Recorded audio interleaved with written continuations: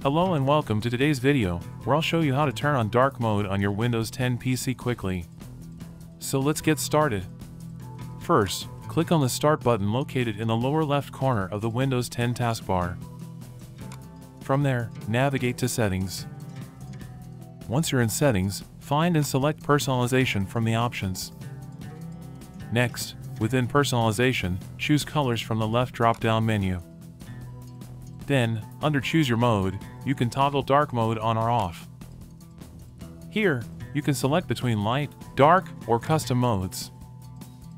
If you select custom, you'll be able to choose one default Windows mode and a different default app mode. For instance, you can set dark mode for Windows and light mode for default apps or vice versa. Alternatively, if you prefer dark mode everywhere, simply select dark. And there you have it!